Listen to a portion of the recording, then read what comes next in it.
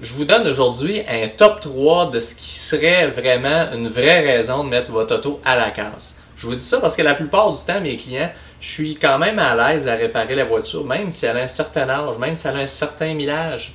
Parce que une voiture bien entretenue, ça peut durer vraiment longtemps. Puis ça coûte pas vraiment cher de faire le suivi mécanique quand on a une bonne base. Mais dans le top 3, il y a trois choses qui font en sorte que je vous dis, ou que là vous risquez de m'entendre vous dire, ah, mais là, je pense, euh, mon ami, qu'on est dû pour aller mettre votre voiture à la casse. Un, ça serait euh, un problème mécanique très grave et très, une grosse pièce, comme un moteur, une transmission, sur une voiture qui a un certain âge et que sa valeur marchande est très faible.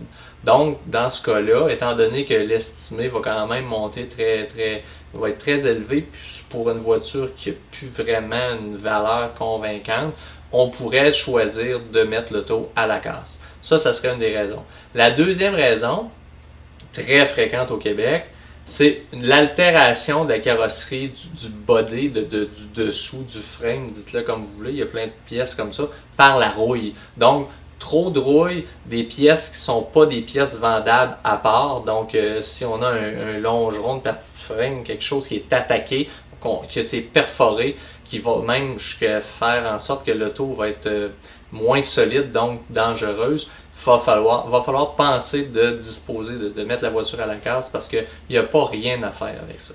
La troisième, c'est, dans la plupart des cas, c'est un accident. Un accident que vous faites une collision, quelque chose qui fait en sorte que c'est suffisamment grave pour avoir créé le déploiement des airbags, des coussins gonflables. S'il y a un déploiement, automatiquement, la façon correcte de réparer la voiture va être définitivement trop chère.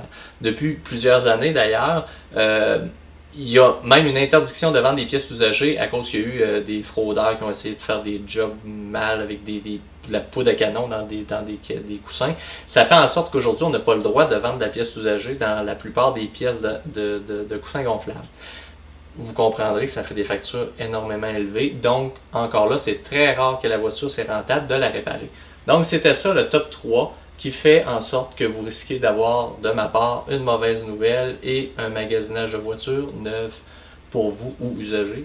En tout cas, vous pouvez plus rouler avec celle-là. Donc, il y a d'autres capsules. Je vous souhaite euh, de faire le tour et pour le reste, si vous avez des questions, vous nous contactez euh, au garage. Merci. Hey, J'ai vraiment apprécié de vous avoir jusqu'à la fin. Puis euh, en même temps, ben, j'imagine qu'on s'apprécie toutes les deux. Aimez ça, partagez ça, puis passez à la suivante. Je vous dis, il y en a plein. Puis vous allez être satisfait des autres, je vous le jure. Salut.